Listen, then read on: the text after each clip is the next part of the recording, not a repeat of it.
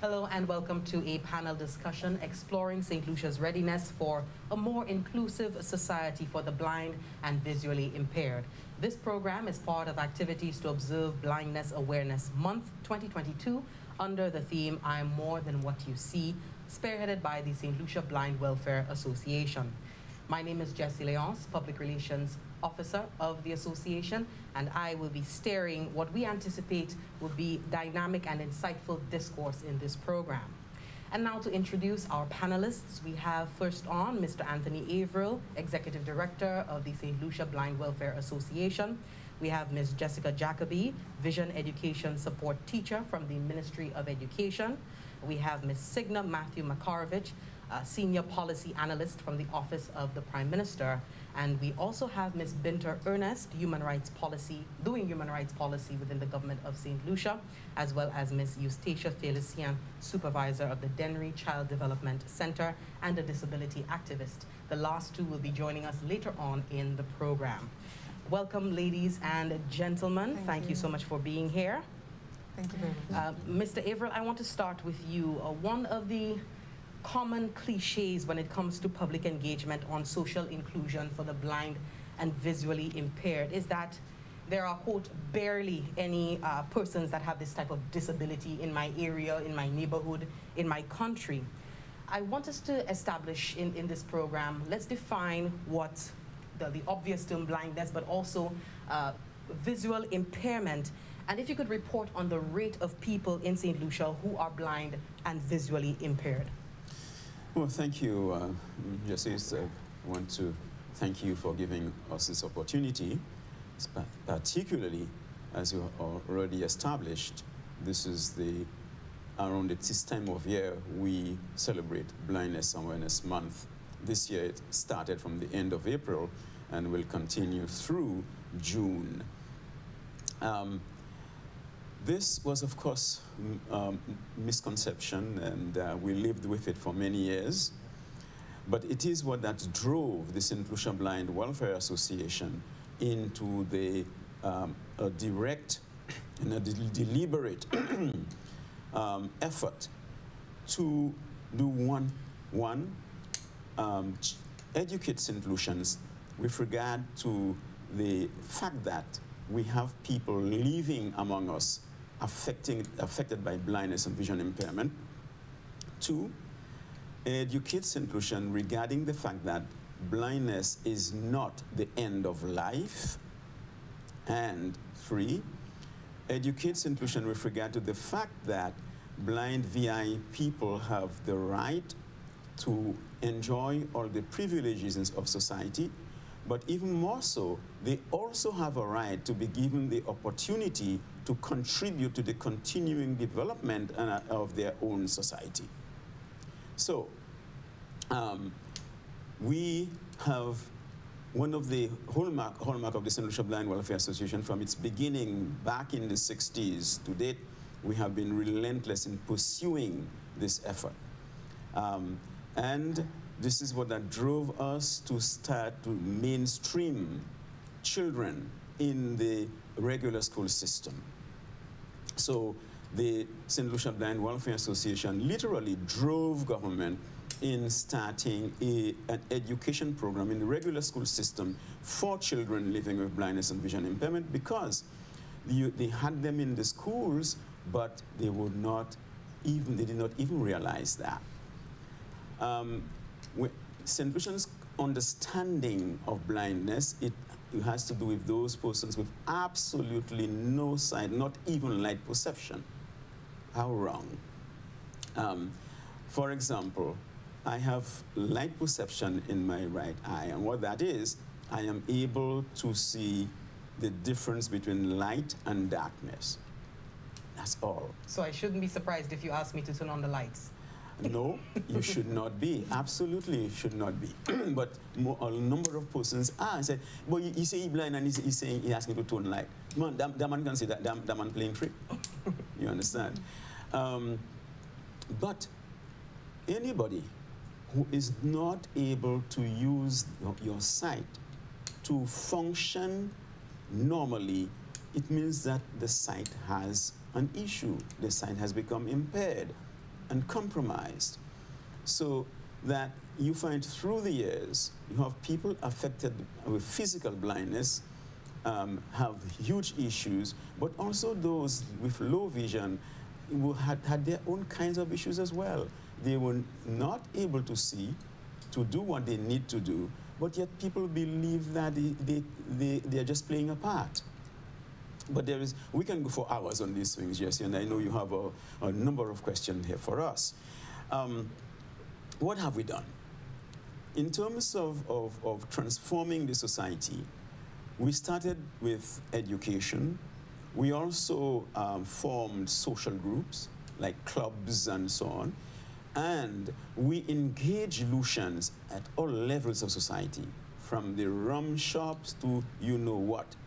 There was a time in St. Lucia, if they see someone like me in a social event, garçon le uba footwear.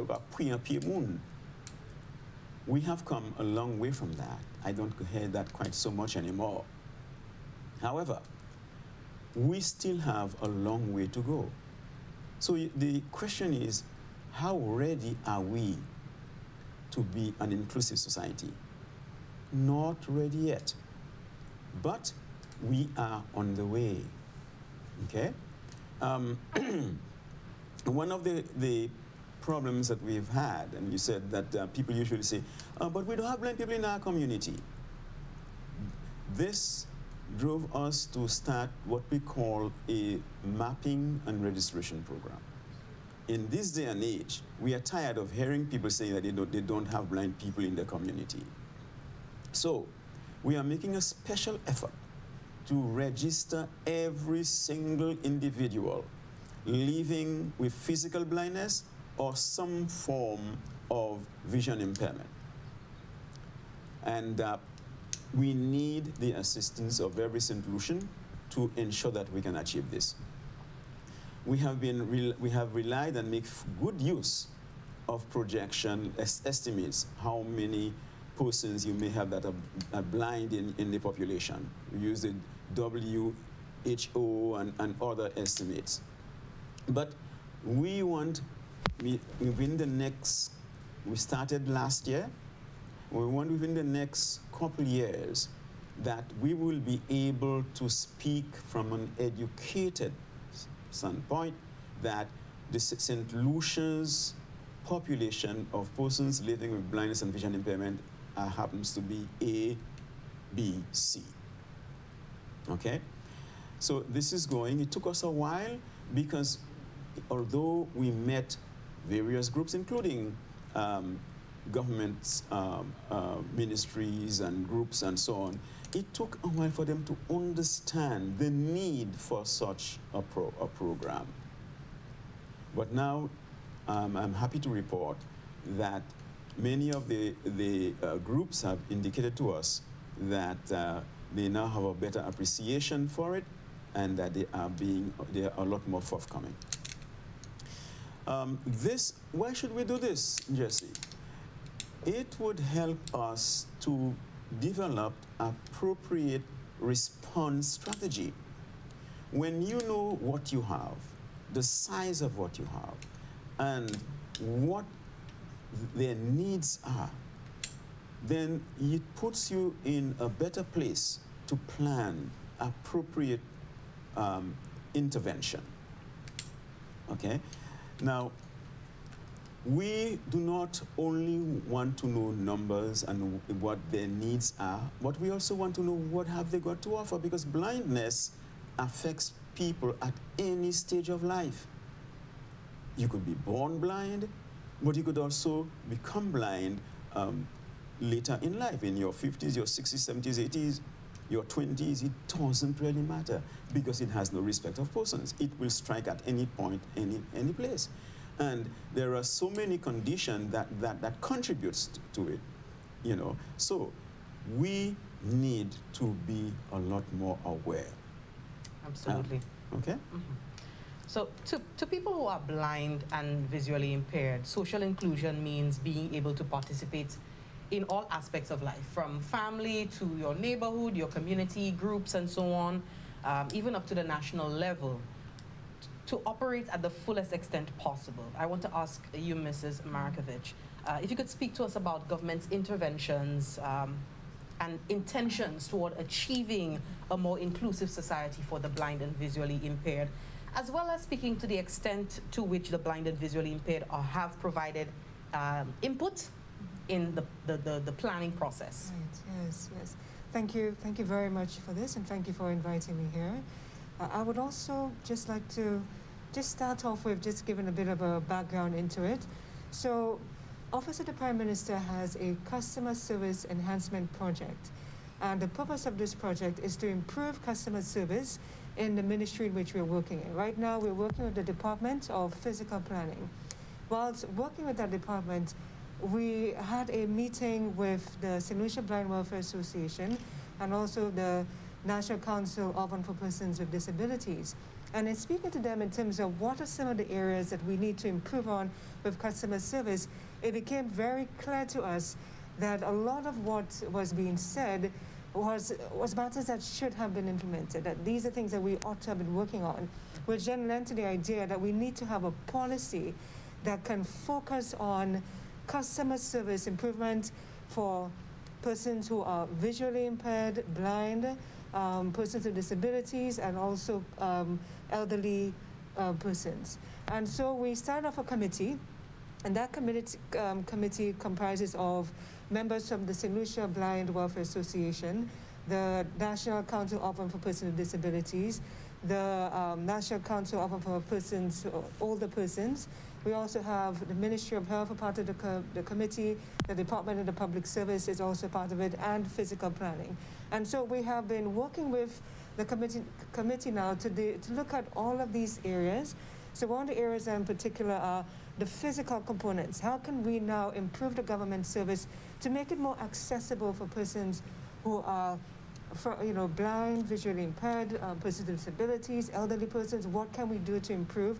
We also look at in terms of the customer service. When persons come to us, you know, from this um, group, how are they being treated? How can we ensure that they have, they feel more, um, yeah, that it, that it is, the services are accessible to them. And we also looked at um, the employee aspect of it. How can we improve on our facilities, improve on our training so that you know, persons who are visually impaired, blind, elderly, that they, they feel that they are part of it. They don't feel in any way that they are secluded. Because one thing that we don't want to create is two societies where one society feels, you know, they are able-bodied, they have access to everything, and those persons who have any form of disability, they find themselves not feeling included. So, so far we have gone through this process. We have actually created a number of details, and one of the things that we have recognized is that a lot of what we have um, that we are working on to include in the policy, uh, they are they are doable. For example, training, you know, training our officers, training to to understand the needs of, of persons who fall in those various categories. You know, training our employees so that they understand what persons need as well.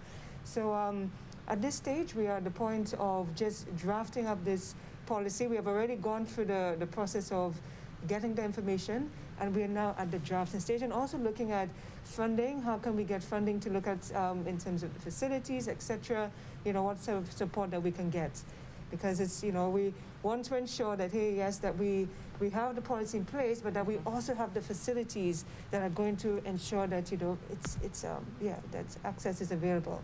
We also want to um, um have a lot of our um, uh, PR done in that regard as well. So at some point we will be doing a lot of campaigning because there has to be more awareness of the needs of persons who are visually impaired, who are blind, who are, you know, have a form of disability. You know, it's just critical in our society that we ensure that every single person has an opportunity to showcase their skills and to be part because we're all gifted in some way. And it's important that every single person has an opportunity to explore their gifts and to feel that to feel the, the level of independence that is necessary. Wonderful. So we are well on our way to a disability policy draft. Yes. So we yes yes at this Wonderful. point we have already we have the content and is um, crafting it and then having discussions with our stakeholders so that we can have a document that we can now present to the cabinet and to get their um, views on it. Okay, wonderful. So, uh, Mr. Averill, we're seeing a, a, distillation of priorities for uh, persons with disabilities here in St. Lucia, with focus on uh, persons living with blindness and, and visually impairment. How do the, the ongoing interventions and existing um, arrangements made for uh, persons living with, with, blindness and visual impairment, uh, how does it coalesce with the perspectives of, or rather, how does it address the, the challenges of blind of the Blind Welfare Association members who have had the opportunity to indicate their needs uh, living in the St. Lucian Society? Well, we are very happy that the process is continuing. Um, the challenge is there. We are all challenged to ensure that we can we can um, bring this process to so, sort of fruition and so that it begins to be transformed to have real meaning for the persons living in the various communities. Um, the, for us, inclusion means that we dream of the time when anyone who's living with blindness or vision impairment in anywhere in St. Lucia will not have necessarily have to co come to the St. Lucia Blind Welfare Association for service, that the services that are being provided in his or her community will be um, accessible to him her that that these services are, are, are so uh, fashioned that the needs of constituents with blindness and vision impairment are also being addressed. Now, we have been agitating for policy for some time, for quite some time. Um, back in the back back in the 90s, um, late 80s, 90s, and it was not only in St. Lucia, all, all over the world. We were agitating. We had you had a, um, the World Blind Union, the Disabled People's International, and so on. Um, the International Labour Organization was another important um, vehicle that has been used to try and change the world, um, the, the way that the disability issues are being handled in the world. And St. Lucia is part of, of, of the globe.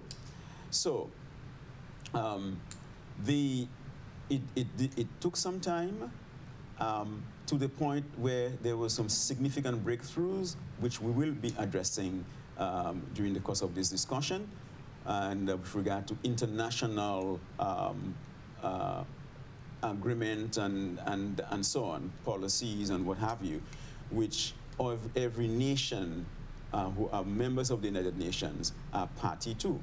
And we will be addressing this later in, in this discourse.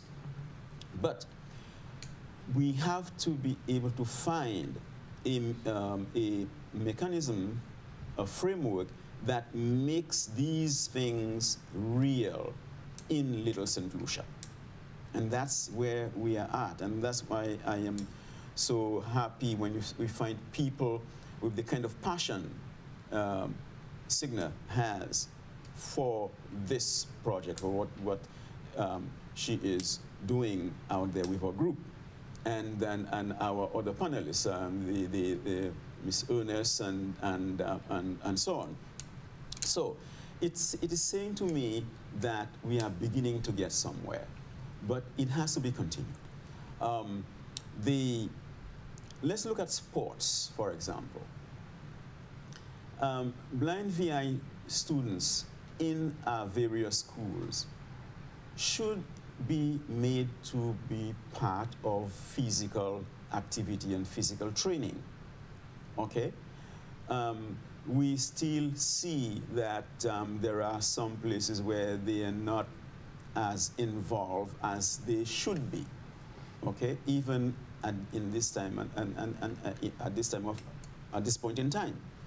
So this is just to give an idea of, of what, from the St. Lucia Blind Welfare Association standpoint, what we mean inclusion, okay?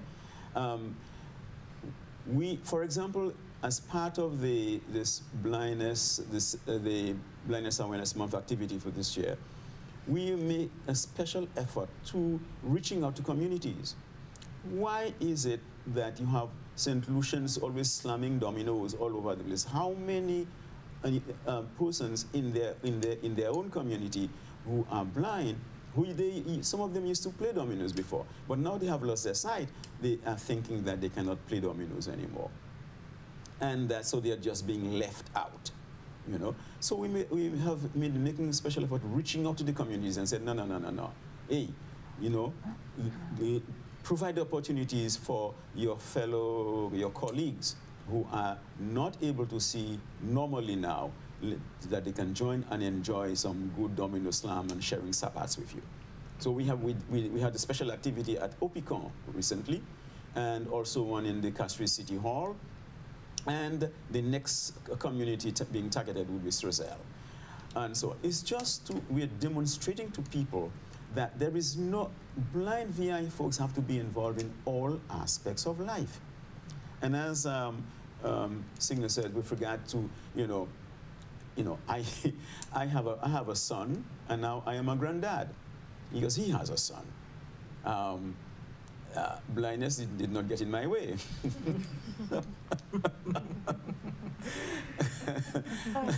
and and um, um, Jessica is indicating that um, uh, she may well go down that road too. And, uh, and I know there are some suitors. I, you know, she, uh, I hope she made a good choice, right? But this, this, this is a reality, you know. We are living. We, have, we are experiencing life. Some of us, uh, you are in relationship and it breaks down. It happens to blind people too. Some blind people are, are, are divorced, you know, whatever. These are the fact, facts of life. We are living, we are part of the society. We didn't come from Mars or Jupiter. No, we are here. So, we are saying, if we speak inclusion, we need inclusion. We know we have to make special provision in a number of instances.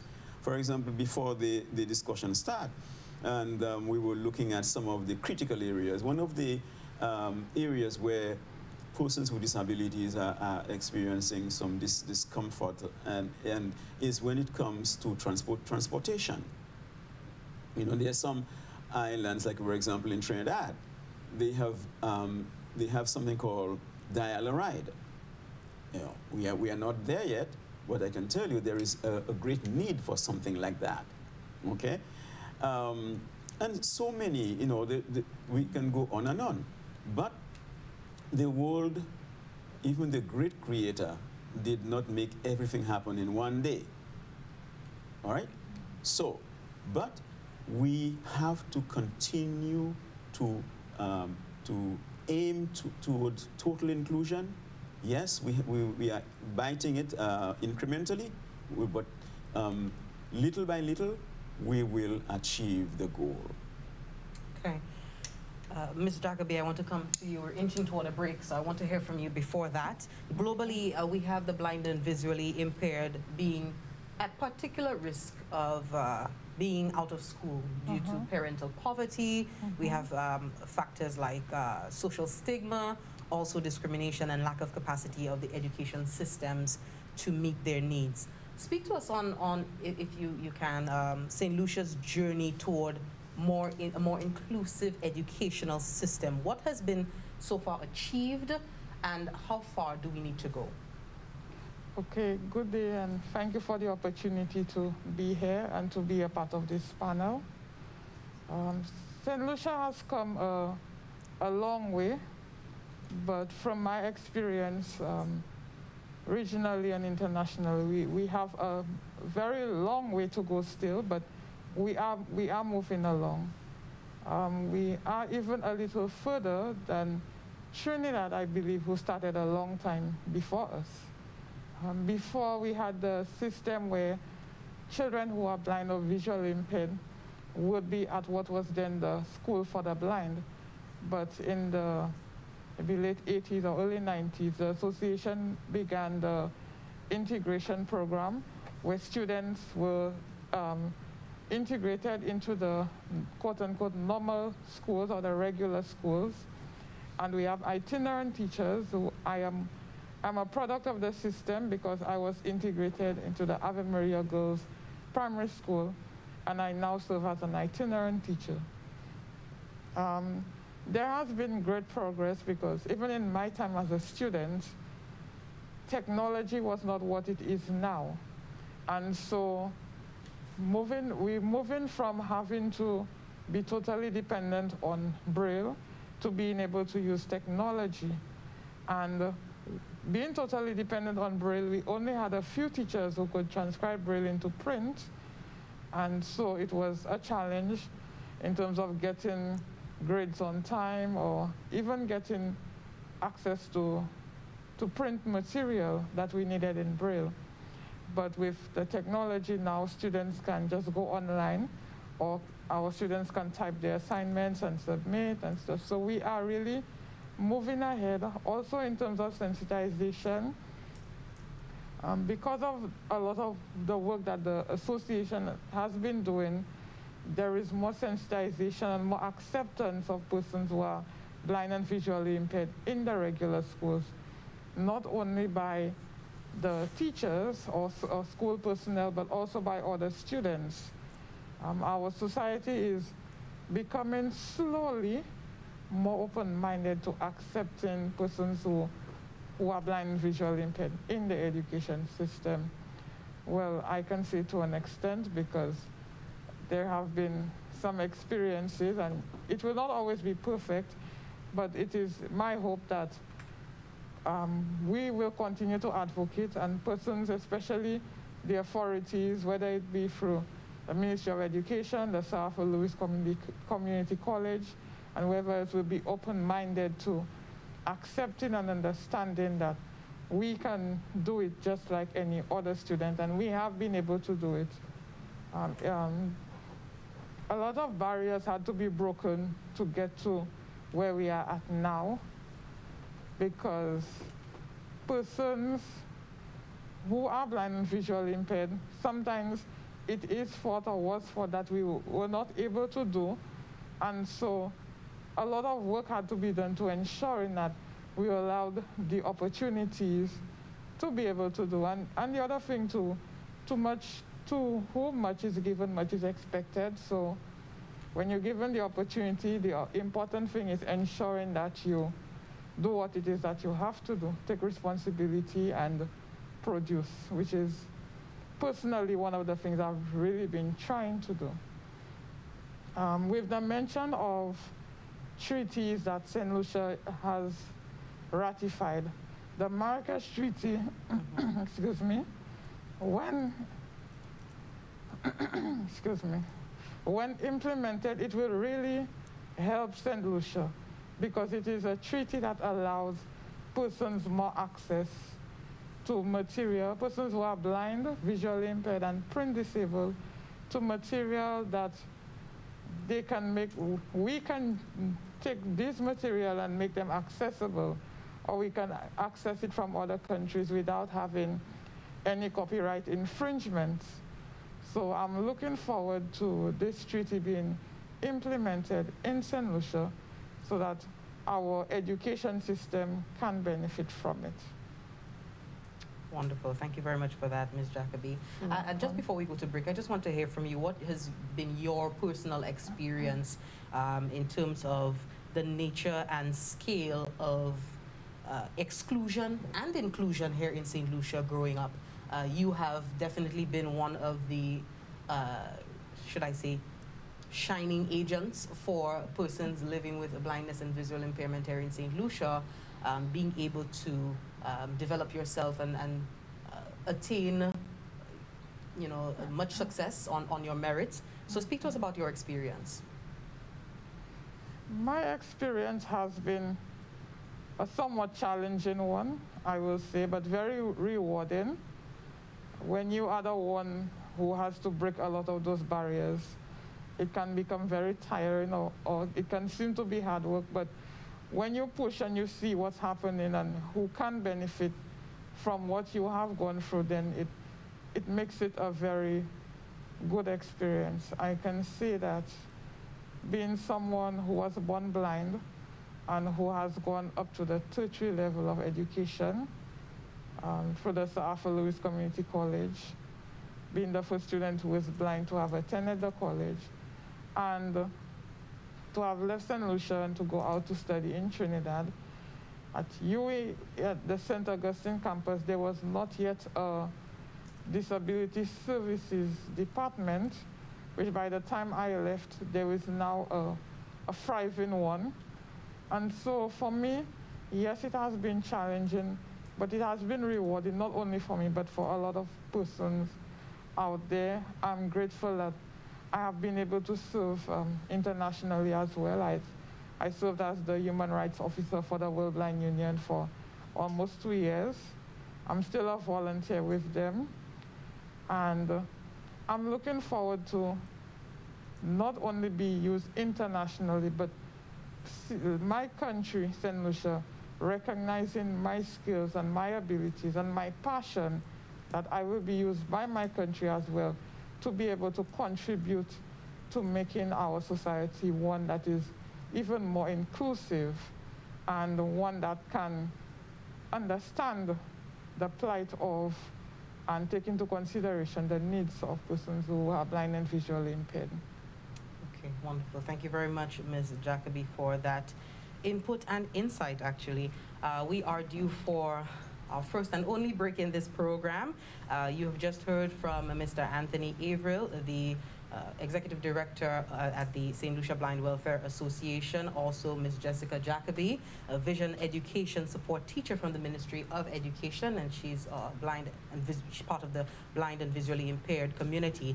Uh, speaking of that, also Mr. Averill. And we also have Ms. Signa Matthew Makarovich, Senior Policy Analyst from the Office of the Prime Minister. Uh, so they have been speaking with you, opening up the discussion on St. Lucia, exploring uh, the extent to which we are ready for a more inclusive society for the blind and visually impaired. Uh, when we do come back from this very short break, we would have had a Miss, uh, Miss Mar Macar Makarovich, sorry about that, and uh, Ms. Jacoby swapped uh, with uh, Ms. Ernest, Human Rights Policy from the government of St. Lucia, and Ms. Eustacia Felicia, Supervisor of the Dennery Child Development Center and Disability Activist, coming on to speak to us. Uh, we have so much more to speak on. We're talking employment, uh, accessibility to infra infrastructure, uh, just basic facilities here in St. Lucia. Are we ready? Stay with us. Ka wejistwe ve min korona ek i ka fe mouvman ek an chay vites tan chak kanef ka la. Fe wolo pale an plas piblik kon bolan me. Baz, ti boutik chanje, distans sosyal sis piye Hot yon alot, i katwa vaytan, si ou santi kou pa kwarantin kou, patwe a kontak epi lot, an ka ou te twape espose. Se yon ekouye, Free One One oube nepot klinik yo pwe ou. Le peyi a dimi akle, sa vle di, le supermarket, famasi, epi ATM, yo aksesab avan se tet swe. Peyi a kle an plen, sa vle di tout bagay feme a 24 we sevi protocole comme soti pa biwo indikasyon sante. Nou tout ansam sa sove ve min korona. Si nou tout sevi jidla a tout le.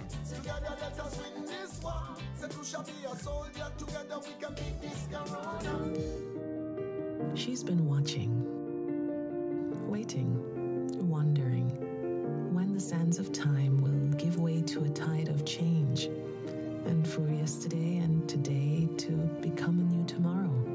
For a time when her sun can kiss the cheeks of your loved one, and her stars can twinkle in her honeymoon skies. When her earthly embrace will reassure and calm your soul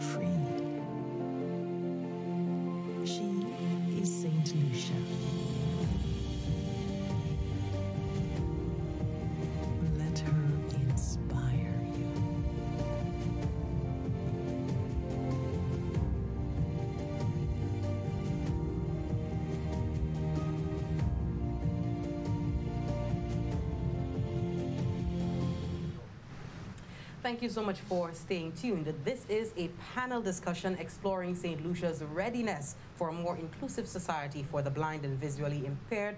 This program is part of activities to observe Blindness Awareness Month 2022 under the theme I am more than what you see is being spearheaded by the St. Lucia Blind Welfare Association. Uh, we are continuing the discussion coming off of uh, insightful, dynamic uh, conversation just from this past break. We heard from Mr. Averill, Executive Director of the St. Lucia Blind Welfare Association, also Ms. Jacoby, a vision education support teacher. Uh, we also heard from Ms. Signa Matthew Makarovich, uh, Senior Policy Analyst from the Office of the Prime Minister, speaking on some of the interventions from the government uh, to make uh, our space, our society more inclusive for the blind and visually impaired. We heard that there are plans in the works for a disability, uh, a disability policy and that will guide the way we are able to interact with the blind and visually impaired here in St. Lucia and of course grant them more accessibility with various services. Uh, we have uh, swapped uh, Ms. Jacoby and Ms. Ms. Makarovich uh, for Ms. Binter Ernest. She does human rights policy with the government of St. Lucia, as well as Ms. Eustacia uh, Felicia. She's the supervisor of the Dennery Child Development Center and disability activist. So thank you very much for being here, and thanks to the uh, two panelists who just got off. Thank you so very much. Uh, we want to continue the conversation. We, we spoke a little bit about education before we got off the break. Uh, I now want to touch a little bit on employment and what that looks like for someone who is blind or visually impaired here in St. Lucia, Mr. Averill. Employment, it greatly contributes to the social inclusion of people with disabilities, Abs- without a doubt. And being able to earn wages, rely on yourself, be independent, your dignity, um, productivity gives you a sense of purpose. Um, hearing some of our members, Mr. Averill, that it, it, it is a point of you know concern for them, and particularly in this post-COVID climate that we, economic climate that we are uh, living in. What, uh, if you could just speak to where the association is at in terms of guiding and supporting members towards gainful, sustainable employment that aligns with their individual skills and aspirations. And also, what, what has been the reception from corporate St. Lucia? Yes. Um, you have certainly, um, you are hitting the nail on, on, on, the head. In fact, it looks like you are a good batter in play cricket. I see you love sports. Yes. um, we can educate, we can rehabilitate, we can do all of these great things, but until we can provide access to what the ILO called decent and then what we used to call gainful employment, the job is not done. Because at the end of it, um, a person wants to be able to own a living.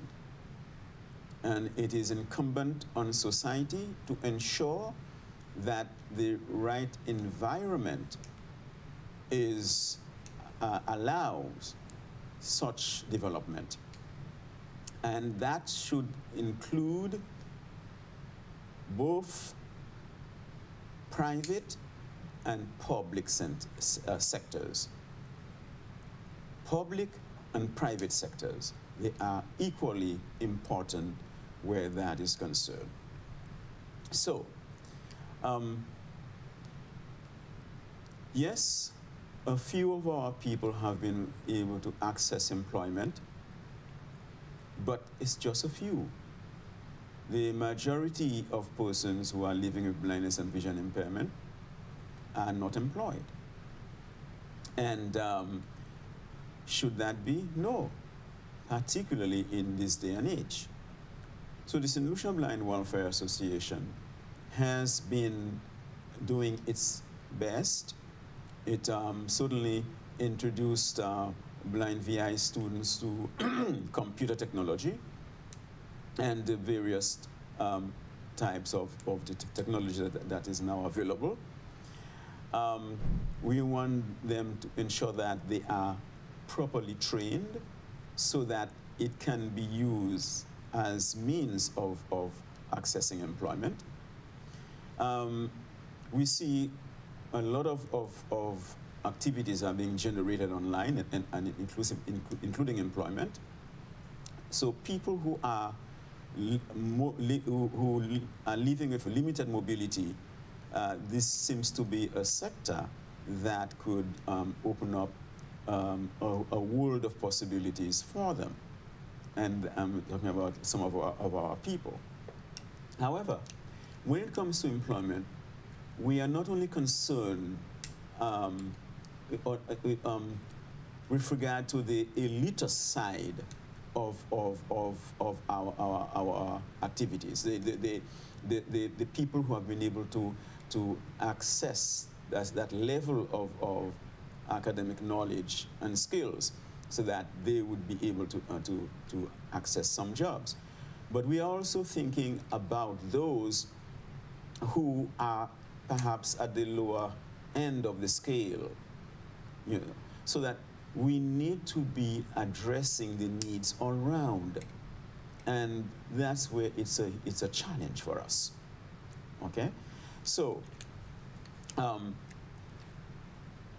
I remember when I was developing the Club 60 program um, back in the 90s. And um, one gentleman asked a question, I think he was from Fora, Fora He says, uh, Monsieur Avril, vous avez fait toutes ces bagailles ça là. Mais en tant longtemps, travail quatre monde de fait. À sous fait développement à présent, yon homme ça fait. So qui ça autres kay fait et toi les autres là? And I was taken aback by this question. Technology is great, but um, the whole it is changing the whole dynamics. Now, what are you going to do? Because you have to cater for everyone. So it calls for a country to be creative use all the creativity uh, skills that we have and to ensure that all of our people have opportunity to decent employment. And this, the St. Blind Welfare Association, Jesse, has tried many things, in, including we looked at the recycling, for example because we saw great opportunities there. In fact, we can see great opportunities there. Um, but the way it, it, is, it, is, it was done, we pick up trash and we send it away to Asia or wherever. Our thinking is that how we should focus on how to convert trash to cash. And in this way, we would be able to create employment opportunity for some of our people at the low, lower end of, of scales. Okay? So that employment should be, it's not just about um, mouthing it, but we should understand what it takes to create it. How can we make use of the material that are available to us? St. Lucia, my, my, grandmother told me once, she says, Saint Lucie c'est en place qui bénit. Bon Dieu ban nous assez bagaille, mais nous ni pour apprendre manière pour cultiver. Saint Lucia is blessed. God give us enough to survive, but we have to learn how to how to manage it. And that is our that's our issue. Tying up with that, we also have to ha have a greater appetite and passion for things local. No, I'm going into areas that are not really but it, it, it contributes to this discussion. So I, I have cited them to show that we need to engage in a range of activities for us to be able to address the employment needs of persons living with blindness and vision impairment at various level of experience and skills. It is a significant problem. Employment is huge. And our people are screaming. They need jobs. They need jobs. And we have to find ways to provide access to jobs for them. And this has to be not just only a government policy, it has to be a policy which is which the private sector would buy into. And what I usually say to them is that look, the persons who are currently employed, so if some if it so happens that their vision become compromised, are you going to send, just send them home? What about the investment that you have made in their development, their training and development? Don't you think you will be depriving your company of, the, of, of, of a significant investment that you have made, the resources that you have spent? So there has to be a way to ensure that they are continuing to be employed. And in that way, you will also be able to provide openings for others out there who can well be part of your establishment, uh, establishment and can also contribute to the, to, to the, to the, pros, uh, the, the prosperity of, of your, your company.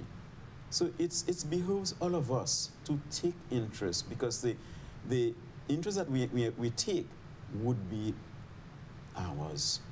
We ourselves who are fully sighted, those who are fully sighted, many persons who used to be fully sighted are not now. So we have to plan ahead. We, when we are changing society, we are changing it for our benefits. It's not just for a few, it's for all of us and for our children yet to be born. Thank you very much for that, Mr. Averill. I, I now want to rope in you, Ms. Ms. Felician. Um, we've heard employment, we're talking education. Speak to well, it's been a you know, 70, Mr. Averill, a 70 year journey in terms of advocacy for the blind and visually impaired here in St. Lucia. Uh, uh, it, it, yeah, it is. It's, it's quite quite a journey. You know, we yes. started back in the 50s with the Women Association. They sponsored the first um, two young St. Lucians and children and sent them to school in Trinidad, School Wonderful. for the Blind. So, so what does advocacy uh, well, we've heard a bit from Mr. Averill, but what does advocacy look like in 2022 for the blind and visually impaired? Ms. Young. Hi, good morning. Thanks. It's afternoon right now. Good afternoon. Thanks for having me. Um, the, the issues we had when Mr. Averill and them started and was sending to send, and the women came together to send the children to school, the issues still remain. What does it look like? Um, of course, the way we're going to uh, tackle the issues and the, and the um, strategies that we are going to use would change. But the issues still remain. And when Mr. Averill began speaking initially, he said about when people would say, where that blind person going to, that still exists. In communities, we still have that exist. And the, I'm not sure if fun is the word, the um, unfortunate thing is that sometimes it comes from people and places you don't expect it to. Mm -hmm. So you would take a child to the hospital, or you try to enroll your child at school and somebody wants to know what your child is doing there because your child has a disability, your child cannot see what is the child doing there. And even at schools, we have issues where if a parent has decided, even if a parent knows that the child has a disability or the child is visually impaired or blind and chooses not to tell the principal and enrolls the child at school, when the child gets into school, the school's first thing is not to embrace and integrate and include. They're going to call blind welfare or call the education officer and say that this child is not supposed to be here. Um, and what are y'all going to be doing or how are y'all going to support the child? And it wasn't, and I mean, I, I think I'm old enough. When we went to school, if a child came to the school, whoever presented at the school, the teacher did the best they could for the child. That does not happen anymore. What does advocacy look like with education? And, and not just grassroots education. We have to start educating persons who are supposed to know better. And I'm talking about nurses and teachers. So you're saying we have regressed in terms of our attitudes towards people living with blindness? I'm not sure if it's a regression or if it's a thing like Mr. Avril and Blind Welfare has done the work too well. So now people don't feel that they need to be doing it because there's somebody there who has to do it for us. Okay.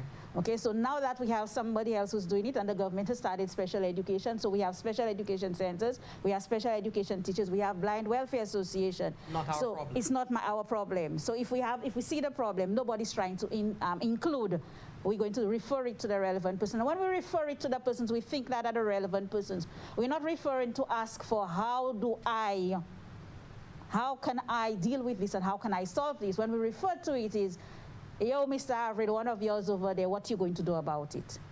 That kind of thing. So from that kind of, from that space, how we reach the public would have to be different. What we say to them and how we reach them. What we expect of them if we, if we build an inclusive societies, because a lot of the times we can be integrated and not included. Okay? So we can, a child has a visual impairment, and if it is known to SLVW that the child has an, a visual impairment, the child will go to a regular school with assistance. What happens when the itinerant teacher is not there could be something else altogether. The child may be included in the setting, the child is the child is integrated into the setting, but not included into the school or into the school activities. And one very important point Mr. Avril pointed out was um, physical education. So the child is going to sit out physical education. Not because the child wants to sit out physical education, but because the teacher does not, has not gotten a way to involve the child or include the child into the special education, into the um, physical education. So that child will have, will have to sit out um, physical education. Even in, in, employment too. Some employ, there are some employers who are reluctant to hire persons who are blind or visually impaired or with any other disabilities because they think it's going to be a liability. What happens if that person hurts themselves on the job? Who's going to be responsible? And of course, it's going to take a little extra to train them into doing the activity, and they have to think about all of that. Um, unless and until we well, the, uh, us as a society changes how we, we see and we view persons, whether blind or visually impaired or persons with disabilities. And we do not look at people as people's responsibility. So if you are blind, you are blind welfare's responsibility. And I'm going to blame Mr. Avril. They have done their job too well. So now anytime you see somebody's blind or visually impaired, they are blind welfare's um, thing. They're not ours. And that's where we have to look as soon as when we start to look at everybody as ours. And I pointed out in, a, um, in a, another forum some time ago, the disability issues are always an afterthought. We come in after everybody has thought of all the other groups and after or on, until and unless somebody with a disability keeps some noise. Then and only then they become a an issue. Mm. I'm hoping that uh, with the disability policy that's coming on stream, we, we definitely see so far that we have engagement in the planning process well before implementation. And that's a good thing because a lot of the times we find that they plan for persons with disabilities um, without them. They're not part of it. And something else I need to um, point out, a lot of the planning goes on for the adults with disabilities and not a lot for the children with disabilities. It's just relegated to education. Yes, just education. But those children are going to grow up and they're going to have lives. And we're talking about inclusion. And we're talking about including the whole human being, the whole child. Okay? And beyond education, the child has certain has rights too. And those are not being addressed. Um, how, how much, just briefly before we head on over to Ms. Ernest, how, how well is, is the articulation of the rights of, of, of of the blind and visually impaired conveyed to they themselves? I don't think we're doing a very good job of that. I don't think we're doing a very good job of that. So these are things that we need to think of and um, we need to work on. There are going to be gaps. We've done a lot of good work, we've done a lot of hard work We've done a lot of hard work. Um, SLVW has done a lot of hard work, even the training of teachers and ensuring that there are persons to drive the education of person, um, who are persons who are blind and visually impaired. They've done a hard work. But of course, there are going to be some slots that we need to fill in, and there are going to be some places that we need to pull up. And yes, That's probably one of ours. Okay, wonderful. Ms. Ernest, uh, to you now. Um, we heard um, the need for improved attitude, attitudes towards the blind and visually impaired, um, not only in school, but in, in workplace, etc. Uh, speak to us on, on how the drafting, the, the considerations in that regard for the uh, disability policy. Okay, um, I cannot speak specifically to the disability policy which is currently being drafted. I have been included in the in a lot of the preliminary um, consultations. But in terms of changing attitudes and in terms of the mindsets, I think from a policy perspective, is where I'm coming from. I think what is necessary is that government, any government who comes into place, has to has to articulate a rights-based a rights rights-based um, approach to development. And without a, and if we as, as, as St. Lucia, we are part and parcel of the United Nations, and one of the pillars of the United Nations is a rights-based approach. And if we, tend, we, we need to first, I think, internalize this as, as, as governments and policymakers, and then it can actually guide everything else that we do. Because when we, we talk about persons with disabilities, persons who are blind, persons who are um, maybe have a physical disability, but we fail to realize that if we have a, a rights-based approach to governance, it covers every single marginalized group because inclusivity would mean the participation of persons from all demographics, all ages, races, sexual orientation, um, rural, urban location. This is what inclusive means that we all have access, we all are participating in life in general. And I think in order to change attitudes is we live in a able-bodied world. We live in a masculine, able-bodied world. Most of our laws were drafted by men, and the only way in which we got rights, in terms of the, the, the whole idea we're speaking about rights, is through persons who were not able-bodied or persons who were excluded had to come in, whether it be women. uh, You see, in St. Lucia, I didn't know that in terms of disability and blind disability, that women played a, a major role again. That's another, that's another conversation. but in order for us to change attitudes, a philosophy of rights-based philosophy and governance needs to be articulated first and foremost by a government, and this can then seep down into the society.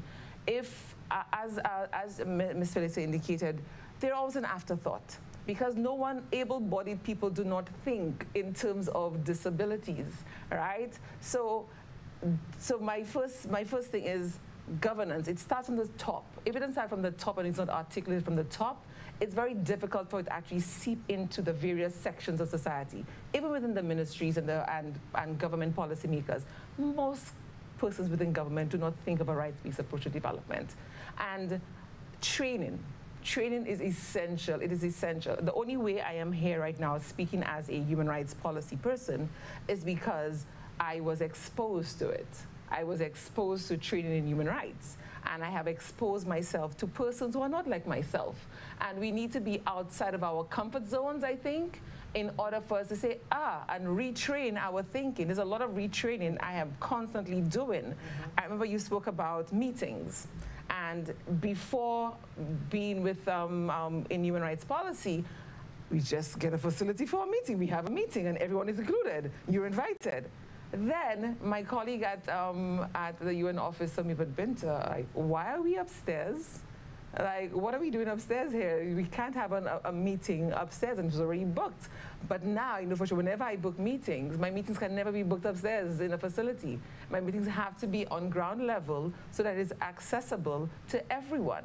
So this is what I think how, in terms of us changing policy and with the disability policy, which is currently underway, and I, I do commend um, Ms. Um, for actually including, and she, she has brought in the necessary persons.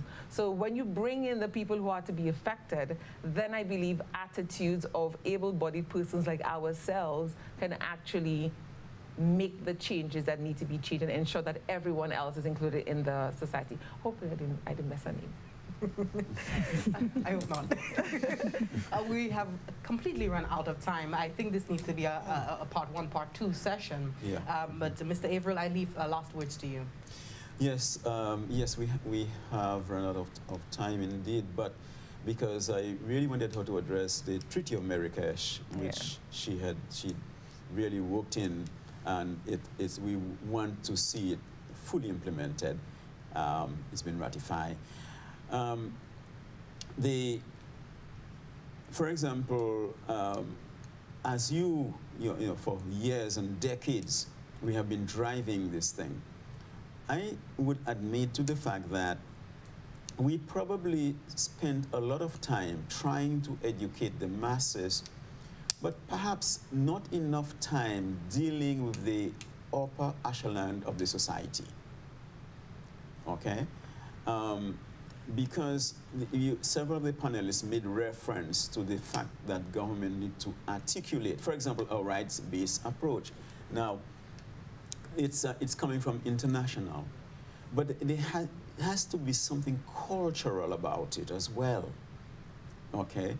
And for me, I would say I see a rights-based side-by-side with responsibility. So I would say right and responsibility-based approach, looking at St. Lucia's culture.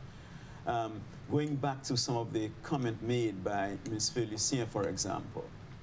Um, this is blind welfare's business, or this is um, that, this, this agency or that agency.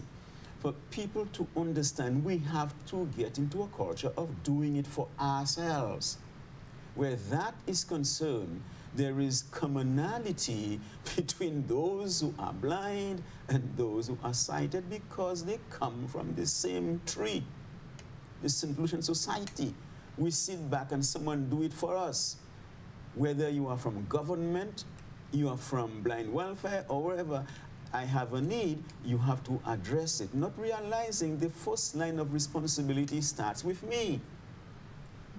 Uh, you know, now, sometimes I get myself in, in trouble when I say things like that because this kind of truth hits people hard in, hard in the face. It cannot be all about gouvernement, gouvernement. Neither can it, can it be all about um, this agency or that agency. It has to be about us. And we have to take responsibility. So that is why, um, Binta, I'm suggesting for us here, let it be a right and responsibility approach. Approach. Okay, excellent. Wonderful. It's all the time we have for now. I'd like to thank all of the panelists, Mr. Avril, uh, Ms. Jacoby, Ms. Makarovich, uh, Ms. Ernest, and Ms. Felicia. Thank you so very much for your time. Hopefully we can meet once again uh, to further this discussion. This has been a panel discussion on exploring St. Lucia's readiness for a more inclusive society for blind VI persons. Uh, this program has been part of activities to observe Blindness Awareness Month 2022 under the theme I am more than what you see and it's being spearheaded by the St. Lucia Blind Welfare Association. My name is Jessie Leonce. It's been a pleasure uh, presenting uh, this discussion to you. Happy Blindness Awareness Month uh, to all blind VI persons here in St. Lucia. Do stay tuned for more programming. Goodbye. Bye. Thanks.